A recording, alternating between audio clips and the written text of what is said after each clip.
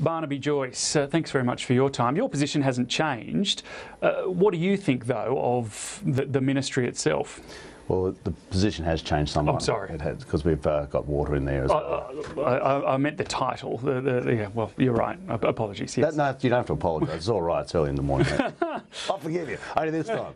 Um, look, I think that obviously with the new Prime Minister comes a, a new um, creed, a, a new ethos. Uh, everybody leaves their stamp on it. Howard left his stamp on it. I don't know how um, uh, Gillard and Rudd, but they definitely left their stamp on it, especially Mr Rudd. Uh, Abbott had his views, and now um, Mr Turnbull's the Prime Minister, and Mr Turnbull is picking a cabinet. I, I think that it's uh, it should be good. I think that's it's good to see that um, with new people in new positions, obviously there's a real vitality that comes into it. People want to make a difference. They want to put their fingerprints on it. Um, they're willing to challenge the status quo, and, and that is always important. Uh, there has to also be that has to be tempered with experience, and with people like Warren Truss still there, uh, that's good because he's by far and away the most experienced cabinet minister now.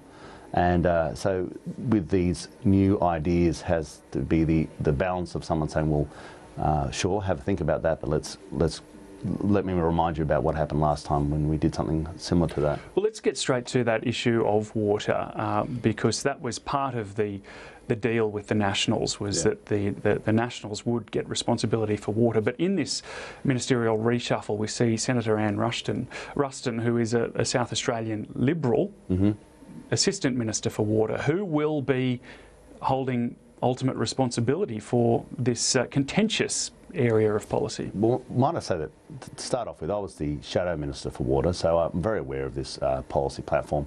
I worked there with uh, Simon Birmingham from South Australia, so we worked very closely in the past. And now with Anne Ruston, I'm sure we'll be able to continue on a very strong working relationship. Anne is uh, off the land. Uh, Anne has a strong experience in horticulture.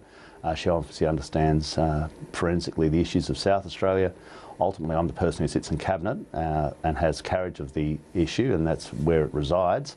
So, uh, but I'd, I'd, I've always worked, and I think other people who work with me would say that uh, I'm very much the collegiate in how I work on issues. Um, I, I believe that uh, we can discuss things through, and There is a potential, though, to butt heads. yeah, well, people can test that and experience. You know, ask Richard Colbeck, who I work closely with, you know, do we butt heads or do we work issues out? Ask my colleagues who I've worked with. Uh, ask Simon Birmingham. Uh, my experience uh, in the people I've worked with, both in politics and out of politics, formerly in business, is one where you uh, work through an issue and land yourself on a space that you can be both uh, comfortable with or equally uncomfortable with. And um, I think that a lot of the work has been completed in regards to Murray-Darling Basin Authority. So really it's an administrative role and uh, I'm happy that that's back in agriculture and, and water resources and I'm the Minister for Agriculture and Water Resources. When the deal was uh, was re-signed with the Nationals last week, uh, was there any indication that there would be a, a South Australian Liberal who would have only- part responsibility not only for this? did I guess that there would be, I also guessed who it would be. So I mean, th- this is not surprising. And I, myself and Anne have uh, get along very well, and that's that's a very good start. And uh, ultimately, um, I'll on all issues, not just water, on all issues, uh, I'll be discussing with Anne, and uh, whether it's horticulture, whether it's RDCs.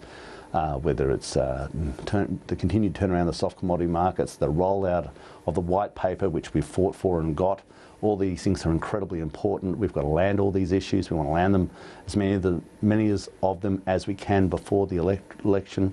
Uh, the one thing in, agriculture, you're never short of work. It is it's a massive portfolio with massive and variant interest groups, and uh, we'll all have our part to play in making sure we deliver on that. Um, ultimately, when it comes to going to cabinet, um, it's re- this responsibility lies with me, and therefore um, I have to um, own that portfolio. More broadly, are there enough, enough Nationals in, in the ministry on the front bench? Well, uh, Warren is still the Deputy Prime Minister of Australia, and that's extremely important. And uh, with what we have is, that I think the Nationals would probably have the record for cabinet experience there, uh, with Nigel, and myself, and Warren. Uh, certainly, Warren's the most experienced minister. Um, uh, now we have Michael McCormack, who will be assisting Warren.